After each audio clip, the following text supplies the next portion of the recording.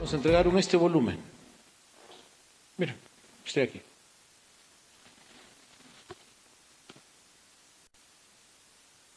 Trescientos ochenta y un folios. Muy bien. Era la primera vez que yo veía este tomo. Cuando terminó la exposición al Consejo de Ministros, yo pregunté al jefe encargado del INEI si había un plazo para presentar los resultados, un plazo legal.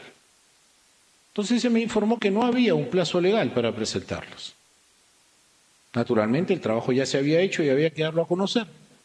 Y como lo dije el sábado en un medio de prensa, lo que yo pedí, yo, insisto, yo personalmente pedí, que el jefe del INEI se reúna con nosotros el viernes, este viernes pasado, y nos explique el contenido, los alcances y los resultados.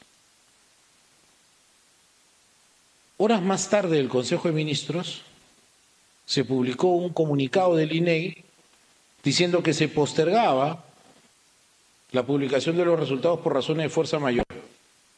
Y eso generó una serie de suspicacias indebidas, por cierto, porque todo era transparente. Este informe ya había sido dado a conocer dos semanas atrás a todos los miembros de la comisión consultiva. Son más de 11 entidades. ¿De dónde entonces alguien puede imaginarse que la voluntad que tuve fue de tapar el sol con un dedo? O de ocultar las cifras, o de cambiar las cifras. Oigan, este volumen ya estaba impreso, ya había circulado, ya lo conocían. Las entidades involucradas en la edición de, esto, de este documento ya lo habían conocido y validado. Quería únicamente estar más informado para poder comunicar de mejor manera los resultados, porque mi labor como portavoz autorizado del gobierno después de la presidenta de la República es informar de manera asertiva y veraz. Quede dicho entonces que no había ninguna voluntad de ocultar las cifras, ninguna voluntad de cambiar las cifras y que todo esto era imposible por lo demás.